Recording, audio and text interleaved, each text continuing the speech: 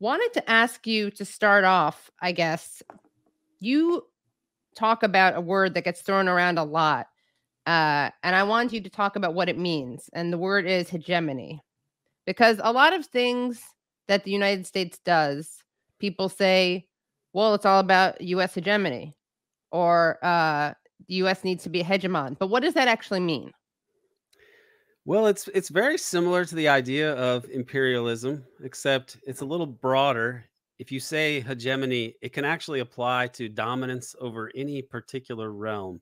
So you could say that I don't know, Darwinian evolution is hegemonic in the field of biology, for example. Um, in the case of U.S. foreign policy and political science and international relations, which is a subdiscipline of political scientists of science, political science, it means uh, the dominance over the globe, over the international system. And this is something that, as an empire, you strive to achieve hegemony over your empire, over the area you're supposed to dominate. And so the US pretty much picked this up from the British, uh, but they sort of supersized it when they became the, the global uh, hegemon after World War II. And this is, I think, been the defining feature of U.S. society is uh, this global hegemony, which has uh, really, I think, overridden all other uh, aspects of U.S. politics, and it's really it, has been the driving force of U.S. history now is this drive for global dominance, and so it's something everybody should should be aware of and, and, and be thinking about if they care about politics. When the United States does something, or the government does something, or the deep state does something, and we'll get into that in a second and they're doing it for the sake of hegemony. Does that mean political power, political dominance? Does that mean economic dominance? Is it a combination of those things? They are all related. When you control the economic system of a of, uh, of a civilization, then you're going to control the apparatus that is supposed to secure that system and protect it. So under feudalism, you had the crown and it was legitimated legitimated by the church and they paid all the salaries of the sheriffs and other knights and so on because they controlled the whole economic system and where all the money and surplus of the economy went and so they could maintain themselves for a while that way. And they controlled the culture that way. Uh, you know the church was the responsible for the sense making of the time. You know the earth was flat and it was at the center of the universe and the king was the king because the uh the, because God wanted it that way and if he if God didn't want it that way then the king wouldn't be the king. This is kind of like the logic of hegemony. If you apply it that's that logic to uh, feudalism then it's we can it, it seems very clear and it, it, becomes kind of ridiculous to think uh, to endow or to invest any of those institutions with like you know uh, legitimacy or divine sanction or whatever when we think about our own times, we, we uh, typically think about it differently because we sort of trust, we believe in things like the free press. Okay, but the myth of the free press uh, is kind of like the, the, divine right of kings. It's just something that it, it falls apart if you scrutinize it at all. But it's like this is one of the things that we think of as uh, explaining how our civilization works. So yeah, hegemony in all these areas: culture, cultural, economic, uh, intellectual, educational. Uh, uh, these are these are all inter interrelated, and I think that in the U.S. case, this international hegemony over the global political economy is what underpins the uh, all of the other ways that they control, you know, perceptions around the world and everything else. Uh, this is the, so every it's all it's all it really is all related. I mean, this is a, a kind of a generic materialist perspective, but uh, I think it's it's pretty hard to argue with uh, when it comes down to it. So, how does this apply in the real world? Like, let's talk about what's happening now in Russia. Um, the United States is doing what it's doing. So, for someone like me, and I think like you and a lot of my viewers, right? Uh, the United States did did not do all of it could have done to stop the invasion. As Chris Hedges says, uh, Russia's invasion of Ukraine, he says it was unjustifiable but um, predictable and it was avoidable. And we've seen since the beginning of the war, we've seen the United States try to uh, you know, the West and the United States try to stop peace negotiations. So, where does hegemony fit into that? Well, this goes into, I mean, this goes way back in terms of the US and what they've really been doing since the end of World War II. Or even if you take it back to World War One, it's similar to things the British were doing. A part of the reason World War One happens is because uh, the admiralty of uh, you know the, the British Navy, and you've got Winston Churchill. He's in a position of power there, and they make the decision that they're going to have to go for oil, and that they're going to refit the entire British Navy to run on oil because it's more efficient.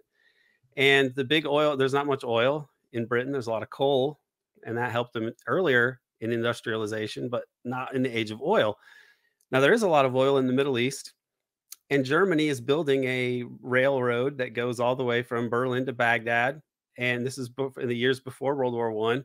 And this would have been a huge threat to uh, the British Empire.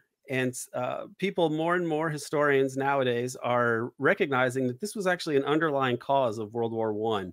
That this whole Anglo-Atlanticist uh, imperialism, which the U.S. has inherited, that it's been really preoccupied with the idea of Germany uh, as a, and especially Germany combined with Middle Eastern uh, oil resources and with Russian raw materials, that if they ever became allied, that that would be a real countervailing power against the U.S. and before that against Britain. So this was uh, a part of World War One, and then in and then after World War One, you know, you have the Balfour Declaration, which gets into pipelines and other issues. I mean, this is an underlying part of uh, of why Israel gets established. So people would think about this as maybe politically active uh, Jewish people who you know who are Zionists and want this homeland in the area, but there were elements of the British establishment that made all sorts of plans and schemes to uh, after the Ottoman Empire got gets broken up, and a lot of it has to do with pipelines and controlling that Middle Eastern oil. Um, but and this there's also this fear of Germany as allying with Russia, especially as the Great Depression hit. And this was a huge concern of theirs. This is why they back somebody like Hitler, who is a, kind of a kind of who is a lunatic, but he has as his main redeeming quality the fact that he will kill all the communists. And so he's backed by uh, Anglo American elites, you know, Tory elites, and so on. And people like John Foster Dulles, who helped to broker bond sales on the international market, which allowed for Germany to rearm. And the whole idea is to create a uh, put a regime in there that will not allow the socialists to take over. So they have the Reichstag fire and they blame it on a communist, even though it was most likely the Nazis that did this. Uh, and they eventually attack Russia. The, they were called the Anti-Comintern Pact. That's the name of the Axis powers. The you know Italy, Germany and Japan. It's the anti-comintern, mm. anti-communist international, and uh, it, the idea was to set them up like, to attack Russia or the Soviet Union. Now, after World War II, you had Europe, which was economically in bad shape. Russia was devastated, even though they won. They lost 27 million people. They didn't want Eastern Europe to be the Russians. The Soviets didn't want Eastern Europe to be uh, part of a block that only they controlled. They actually thought they would trade with Western Europe and they could have some, you know, good relations with them. It's really the U.S. who decides that uh, they can't allow the Eastern Europe, the the communist countries to trade with the West. They they do this because they're really afraid of neutrality. They're not afraid the Soviets are going to invade. They're afraid of neutrality and that there would be trade between Europe and Russia, just like today with the Nord Stream. And so they have this document NSC 68, which describes the dollar gap and all this prob these problems of trading uh, with the, the Russians and the problems that the Europeans are going to have. And the way they get around that is to create the military industrial complex to have a lot of money and the Marshall Plan, keeping money flowing the right way, but also shutting off trade between Europe and Russia. And because the, they just need that to to create this capitalist world that they wanted. And that's what they've had since the end of world war ii is the us as the center of gravity with capital and trade going across the, the pacific and the atlantic ocean both uh, and the us to maintain this position of global dominance and this has been since the end of uh, in the 21st century the end of the cold war they've been going further and further east. So going into former NATO, uh, former Soviet bloc countries with ex- the expansion of NATO, the whole global war on terror and the Arab Spring wars afterwards, if you look at them, these are in the same vein. They're really trying to maintain hegemony over that pivotal area between Europe and the former Soviet dominated sphere of influence and control the Middle East as well. And this is all really about the US attempting to uh, manage geopolitics around the world. And they have, they eventually did so much in Ukraine that and uh, with that it was uh, perceived as a threat by the Russians, which it was. I, am not going to say you can justify the invasion, but what the U.S. was doing in Ukraine with the Maidan coup, which was one of the most obvious CIA coups ever, uh, and then not allowing Minsk to take to happen and have this this war, this this attack on the Donbass. This is all to um, try to damage Russia. That was the reason the U.S. put so much emphasis on Ukraine in the first place, was because it was perceived as an area of Russian vulnerability. Zbigniew Brzezinski, in his book, The Grand Chessboard, which was commissioned by the Council on Foreign Relations, the same group that planned the U.S. War, uh, global empire during World War II, before it even had won the war. Uh, that Brzezinski was talking about Ukraine all the way back then in the in the mid 90s, and it's so straightforward to understand as the, the, why the U.S. is there. The U.S. is not especially concerned about democracy really anywhere when it comes down to it. definitely not in Ukraine.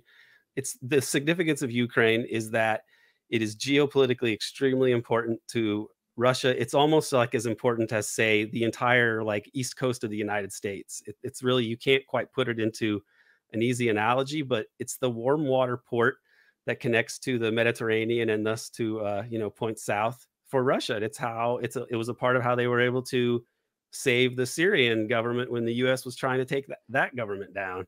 So it's just enormously important and very provocative, and it kind of supersedes questions of justice or righteousness or international law because for one thing, the US violated international law by overthrowing the government in the first place in 2014.